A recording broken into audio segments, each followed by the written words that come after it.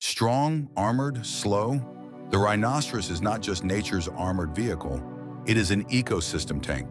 Observe what it actually does. Five functions of the rhinoceros 1. Clearing the savanna. They tear down bushes, freeing up space for herbivores. 2.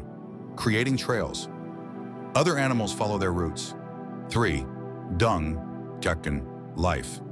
Beetles, bacteria, and plants thrive in rhino dung. Fourth, grass growth regulator.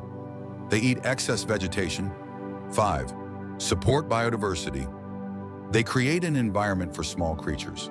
5 unusual facts 1. Their horn is not bone, but compressed keratin hair. 2. They can run up to 50 kilometers per hour. 3. They have poor eyesight, but their hearing and sense of smell are acute. 4. They sleep standing up. 5. They have a guard, a buffalo bird that signals danger. Conclusion. The rhinoceros is not just a massive beast, it is the architect of the savanna. Subscribe to learn how animals really keep the planet in balance.